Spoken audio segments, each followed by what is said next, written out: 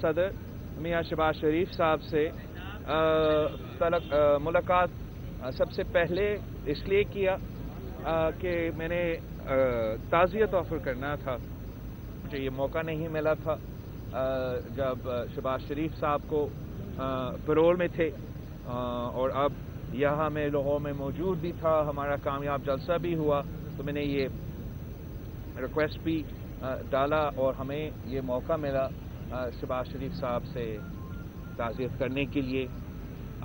जैसे मैंने अपना जलसा का तकरीर में भी कहा था कि हमारा नालायक, ना अहल, ना जायज़ हुक्मरानों में ये हौसला नहीं है कि वो सच सुन सके। ये निज़ाम चला सके या ये मुफ़्त चला सके। आई मीन आप सोचें कौन से ऐसे ममालिक होते हैं कौन से मॉडर्न दुनिया में तरक्की करने वाले जमहूरी ममालिक होते हैं? जहाँ मौजूदा कायदे हिजब इख्तलाफ और जो हमारा खुर्शीद शाह साहब है, इससे पहले जो कायदे हिजब इख्तलाफ है, दोनों को जेल में रखा गया है। कोई कन्विक्शन नहीं है, कोई फैसला नहीं है, सिर्फ़ हुकूमत की जिद, हुकूमत की जाती लड़ाई और हुकूमत की अना की वजह से इनको जेल में डाले गए हैं। ये ना सिर्फ़ इंसानी हकूक के खिलाफ है, जमहूरियत के खिलाफ है, मगर यही तो वजह है कि मुल्क तरक्की नहीं कर रहा। यही तो वजह है कि अवाम के मसाइल, अवाम की मुश्किल महँगाई की सुनामी में जो अवाम डूब रहे हैं, जो चीनी चोरी, आटा चोरी, पेट्रोल चोरी, और अब आप देख लें, गैस का जो बहरान आने वाला है, ये मसाइल तो पार्लियामान में बात डिस्कस ही नहीं होते। ये इश्यूज़ डिबेट ही नहीं होते, इनके हल नहीं निकलते। इसलिए आप जमहूरियत में हल कैसे निकालते? जमहूरियत में और पार्लियामान में हल ऐसे निकलता है कि हुकूमत अपना राय देता है अपोजिशन अपना राय देता है, हमारा कभी कभार लड़ाई भी होता है और उसके दरमियान में से जो मुल्क के लिए फ़ायदा मंद है, वो रास्ता निकलता है। वो पॉलिसी निकलता है जो कंसेंसस का होता है। इमरान तो पहले दिन से ये फैसला किया था कि वो पाकिस्तान का वज़ीर आज़म नहीं, वो लीडर ऑफ़ द हाउस नहीं। वो पीटीआई का वज़ीर आज़म है, वो पीटीआई का लीडर है। वो फेसबुक पे और ट्विटर पे वज़ीर आज़म बनने पे खुश है।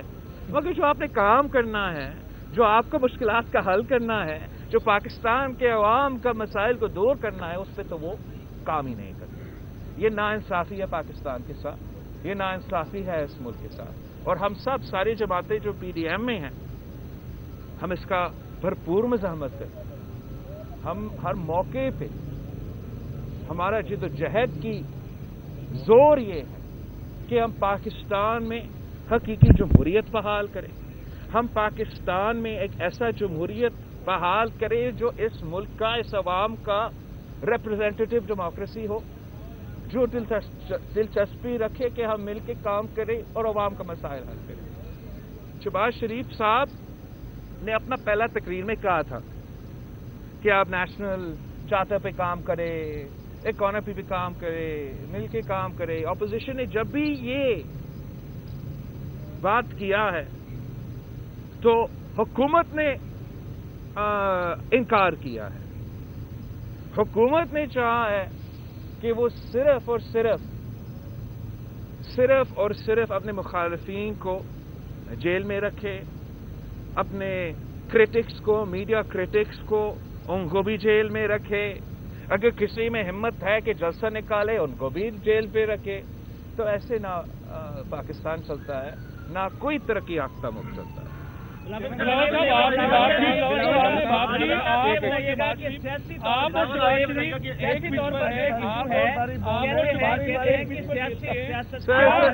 समझते हैं कि के मामले आपस में इतफाक करते हैं सर एक तो एक तो एक को जहाँ तक आपने पिच की बात की है ना एक ही पिच पे खेलते हैं जहाँ तक आपने पिच की बात की है, पूरा पीडीएम एक ही पिच पे है। पूरा पीडीएम में शामिल जमातें एक ही स्टेज पे हैं और एक ही हमारा मंजिल है। एक ही हमारा टारगेट है कि हम पाकिस्तान में जमहूरियत को बहाल करें। और शबाज शरीफ साहब ने इस्तीफों के ऊपर बात की है और रजामंदी साबित की सॉरी? कहा जा रहा है कि पीपल्स पार्टी को इस्तीफों पर तहफुजात है कि पार्लियामेंट से इस्तीफे नहीं देने चाहिए। इसी पार्लियामेंट में तो नहीं। पाकिस्तान पीपल्स पार्टी और सारे पीडीएम के जमातें एक पेज पे हैं सब मिलके फैसले लिए हैं। थर्टी फ़र्स्ट दिसंबर तक अपने पार्टी कायदीन के पास वो इस्तीफे जमे हो रहे हैं। इस्तीफे हमारे हमारा एटम बम है।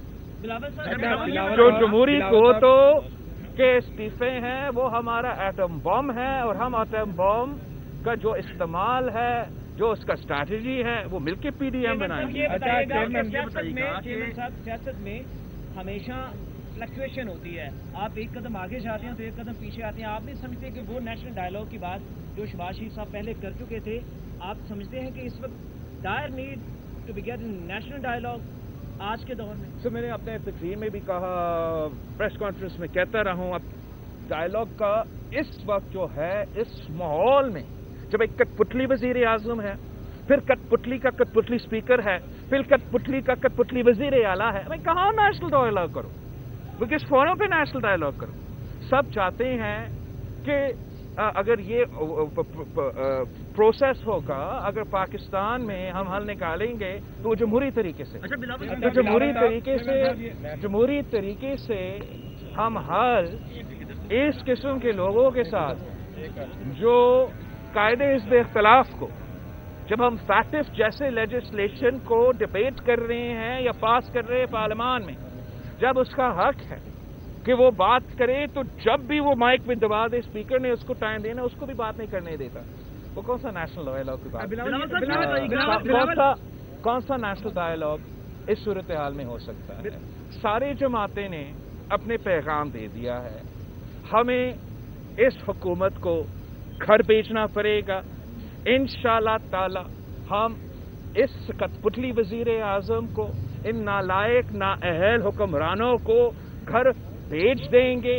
थर्टी फ़र्स्ट जनवरी तक उनके लिए डेडलाइन है, मगर मैं आप सबके थ्रू और कैमराज के थ्रू आज ही उनको पैगाम भेज आज ही उनको के पैगाम भेजते कि वज़ीर आज़म साहब मुस्ताफी हो जाए, इस्तीफा दे। मुल्क को क्राइसिस से हमने निकालना है तो वो वाहिद तरीका है कि एक इमरान खान अपनी नाजायज वज़ीर आज़म की कुर्सी से मुस्ताफी।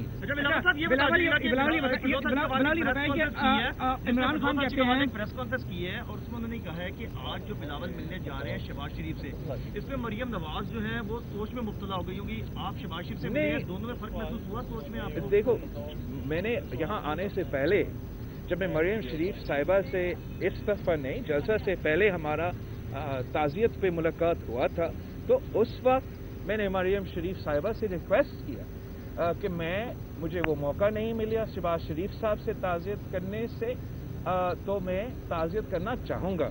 मरियम शरीफ साहिबा तो चाहेगी कि मैं ना सिर्फ़ ताज़ियत करूँ मगर हम सब का कायद हिजब इख्तलाफ मियाँ शहबाज शरीफ साहब है। तो ये जो हुकूमत सियासत करती है ख़ास तौर पर इस किस्म के मौके पर जो हमारा रवायत में है हमारा तारीख में है हमारा सकाफत में है कि मुखालिफ भी हो। मुखालिफ भी हो, मगर आप इस मुश्किल वक्त में इन दुख के वक्त में आप साथ देते हैं। ये पहला हुकूमत है, जो इतनी गिरी है, जो किसी की वालदा की लाश के भी- पे भी सियासत करते हैं। हम इस सियासत पे हम इस सियासत को कंडेम करते हैं, और हम समझते हैं कि हम इंसानियत के जो लकीर होते हैं उससे नीचे ना गिर ना गिरा जाए। बिलावल बिलावल बिलावल ये बता दें आप जलसे कर रहे हैं बहुत बड़ा जलसा हो रहा है तकदीरें हो रही हैं और उसके मुकाबले में प्राइम मिनिस्टर अपनी तस्वीर शेयर करते हैं कि वो अपने कुत्तों से खेल रहे हैं। उन्हें आपकी इन बातों की बिल्कुल कोई परवाह नहीं देखो सर मैं समझता हूँ मैंने अभी अभी कहा था आपको आपको वज़ीर आज़म के जो वज़ीर है इनके लिए इस किस्म के अल्फाज इस्तेमाल नहीं करना चाहिए। अच्छा, बिलावल उसके अंदर एक आपने गिलगित बल्तिस्तान का जो पिच था मेरा सवाल ये था जो गिलगित बल्तिस्तान का जो इलेक्शन था उसमें आपने मीडिया को वो रास्ता पहली मरतबा दिखाया और लोग वहाँ पे गए। क्या आप समझते हैं कि पंजाब के अंदर कमर कमरुजमान कायरा साहब जैसे बंग लीडर आपके पास मौजूद है और ये काम भी कर रहे हैं? इनके साथ इनका हाथ पकड़कर पंजाब में कूचा कूचा गली गली टाउन टाउन कब जाएँगे? इंशाल्लाह हम तो वही कर रहे हैं। हम तो वही कर रहे हैं और हम सब मिल के कर रहे हैं। तो पाकिस्तान पीपल्स पार्टी अकेले ने, पीडीएम में सारे जमाते, लाहौर में तो हमने अपना जो रेफरेंडम और आवाम का फैसला सुना दिया इसको इस एहतजाज को इस मोबिलाइजेशन को हमारा लॉन्ग मार्च के लिए वो तो आगे बढ़ता जा बढ़ता जा रहा है। और हम बिलावल बिलावल बिलावल अगर प्राइम मिनिस्टर अगर प्राइम मिनिस्टर कुत्तों से ही खेलते रहते हैं आपकी जो मुतालबा है उसको संजीदगी से नहीं लेते रिजाइन नहीं करते तो क्या आप नहीं समझते कि इससे क्यास होगा अनारकी होगी आने वाले दिनों में? सर मैं समझता हूँ कि वज़ीर आज़म साहब मजबूर हो के अपना कुर्सी को तो छोड़ना ही पड़ेगा। इस तरीके से तो मुल्क नहीं चल सकता है। इस किस्म के महँगाई, अभी पाकिस्तान, जो एटमी पावर है, जो मुस्लिम उम्मा को लीड किया करता था। आज हमारा ग्रोथ रेट अफ़गानिस्तान से पीछे, आज हमारा इन्फ्लेशन पूरा रीजन से आगे है। ये हमारा किस्मत में लिखा है कि पाकिस्तान को तरक्की नहीं करना है। ये हमारा किस्मत में लिखा है कि पाकिस्तान को जमहूरियत नहीं बनना है। ये हमारे अवाम की किस्मत में ही लिखा है कि उनको गरीबी रहना है। मैं समझता हूँ कि ये हमारा किस्मत में नहीं लिखा। और पाकिस्तान का मुस्तबिल रोशन है। पाकिस्तान का जो पोटेंशियल है, वो हमारे सारे नेबर से ज़्यादा है। जो फुकदान है, वो क्यादत का फुकदान वो हमारा नालायक नायल वज़ीर आज़म जब से इस कुर्सी को संभाला है। एक ऐसा मसला नहीं रहा चाहे वो हमारा मीशत का मसला हो हमारा कश्मीर का मसला हो हमारा भारत के साथ मुखालफत का मसला हो हमारा मुस्लिम उम्मा के साथ ताल्लुकात हो हर चीज़ पे हर चीज़ पे उसने इस मुल्क को नुकसान पहुँचाया है। फौज मेरे साथ। सिर्फ़ वज़ीर आज़म ने अपने कुर्सी संभालने के लिए बहुत से हथकंडे इस्तेमाल किए हैं। बहुत से इदारों को मुतनाज़ा किया जा रहा है। हम समझते हैं कि जब जमहूरियत है, जब सब इदारे अपना ही काम कर रहे हैं तो फिर किसी इदा- इदारा का इंस्टीट्यूशनल इंटेग्रिटी को ना इंसान, नुकसान होता है और किसी एक इंडिविजुअल की वजह से, किसी एक इमरान खान की वजह से it's not worth the integrity of any institution अच्छा बिलावल ये बताएँ कि इमरान खान ने एक मरतबा फिर दोहराया है कि जो तमाम जमातें जो पीडीएम में हैं वो अपनी करप्शन बचाने के लिए खड़ी रही हैं। हम इन साबित करो! नहीं देंगे। साबित करो! इनको चैलेंज है। दो साल से ज़्यादा हो चुका है। एक कन्विक्शन नहीं कर सका। एक कन्विक्शन नहीं कर सका। ये झूठा आदमी झूठ बोल रहा है। चोर चोर, करप्शन करप्शन का रट तो लगाता है। एक कन्विक्शन नहीं निकाल सकता है। किसी को साबित नहीं कर सकता है। और जो अपने लोग हैं, जो इस वक्त करप्शन कर रहे चले अपने माजी का करप्शन पकड़ना है ज़रूर पकड़े लेकिन आपने इस वक्त जो करप्शन हो रहा है उसको रोकना है। और उस करप्शन को क्या रोकने तो दूर की बात, वो फैसिलिटेट कर रहा है। आपने आपको पता है कि जो बीआरटी का मंसूबा है उनके बसेस भी चल रहे हैं। अवाम को धक्के देने पड़ते हैं कि बस चले।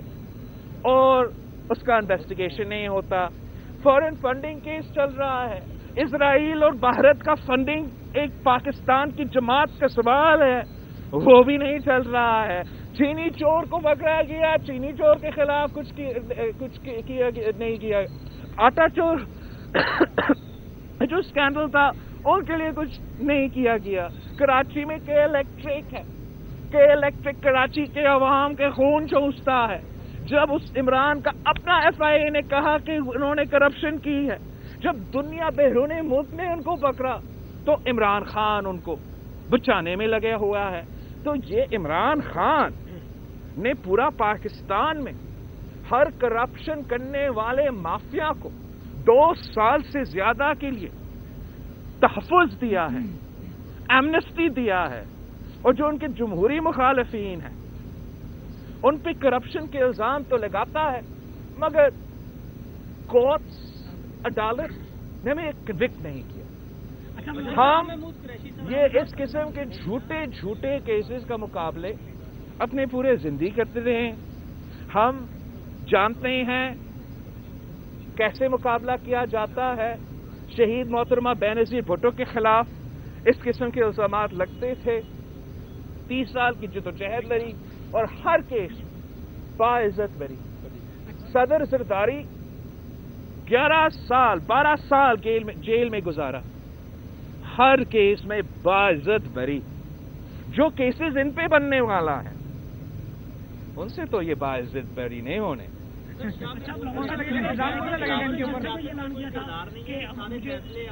रास्ते करने बंद फ़ोन बंद करने बंद तो कौन से लोग थे जो आपको फ़ोन कर रहे थे उनका क्या मकसद है सो मैं एक पैगाम इसलिए पूरे पाकिस्तान को भेज रहा हूँ कि जो पीडीएम में जमाते हैं, जो हमारा साथ है इस मकसद के लिए कि जमहूरियत बहाल करने के लिए, उसमें कोई दरार नहीं पैदा होने वाला।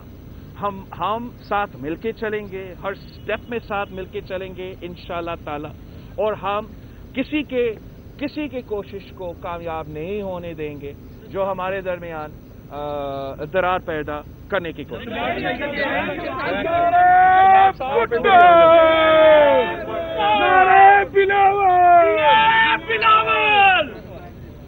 thank you thank you Bilawal साहब आप जा रहे हैं किधर ही हैं? वापस कराची। कोई मुलाकात ही कर ले फिर आजकल। में निकाल दिया पाँच लाख बंदों को मारा कर दिया। बस सर्टिफिकेट के चिट दे दो साहब को। दे दी चिट दे दी दे दी दे दी। दे दिए हैं।